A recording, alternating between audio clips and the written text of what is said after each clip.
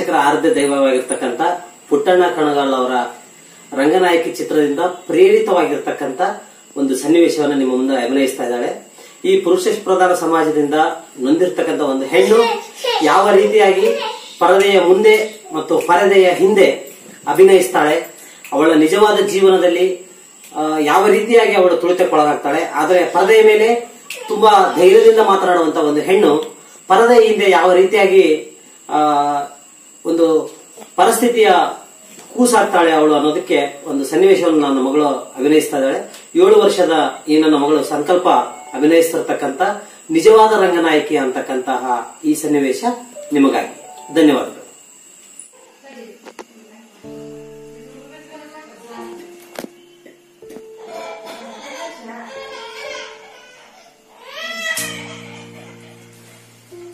Action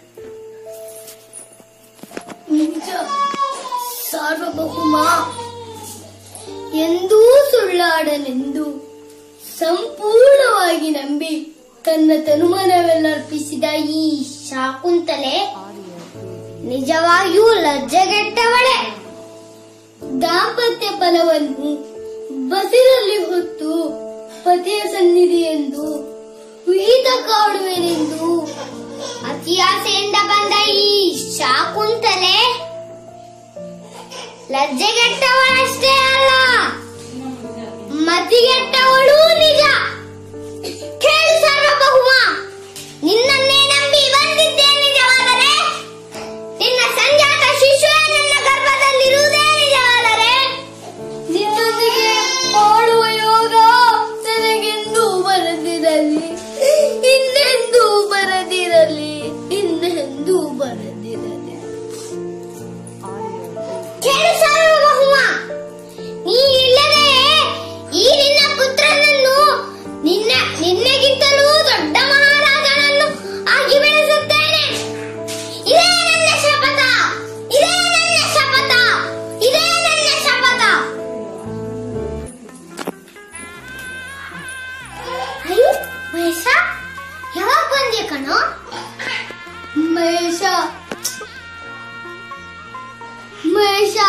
ನನ್ ಬಿಟ್ಟು ಹೋಗ್ಬೇಡ ಕಣೋ.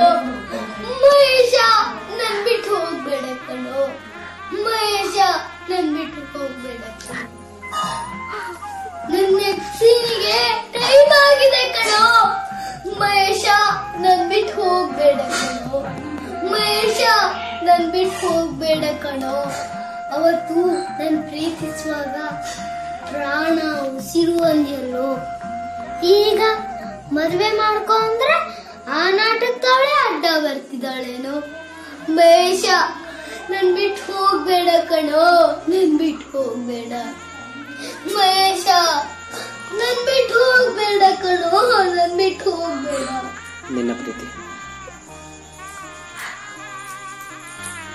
ನಿನ್ ಪ್ರೀತಿ ಕಾಣಿಕೆಯಿಂದ ನಾನಿವಾಗ ಮೂರ್ ತಿಂಗಳು ಬಸ್ರಿ ಕಣೋ. ಮಹೇಶ ನನ್ ಬಿಟ್ಟು ಹೋಗ್ಬೇಡ ಕಣೋ. ನನ್ ಬಿಟ್ಟು ಹೋಗ್ಬೇಡ. ಮಹೇಶ ನನ್ ಬಿಟ್ಟು ಹೋಗ್ಬೇಡ ಕಣೋ. ನನ್ ಬಿಟ್ಟು ಓದೆಲ್ಲೋ ಹೋಗು ಹೋಗು. ಈ ಪಾಪಿ ಸಮಾಜದಲ್ಲಿ, ಈ ಪಾಪಿ ಸಂಘ ಮಾಡಿದಕ್ಕೆ ಈ ಪಾಪದ ಕೂಸು ನೀನಾಗಬೇಡ ಕಂದ, ನೀನಾಗಬೇಡ.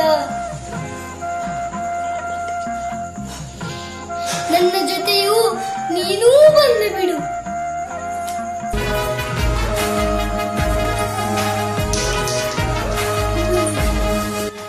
ಈ ಪುರುಷರ ಪ್ರಧಾನ ಸಮಾಜಕ್ಕೆ ನಿನ್ನದೂ ಧಿಕ್ಕಾರವಿರಲಿ ನಿನ್ನದೂ ಧಿಕ್ಕಾರವಿರಲಿ. ಮಹಾನಟಿ.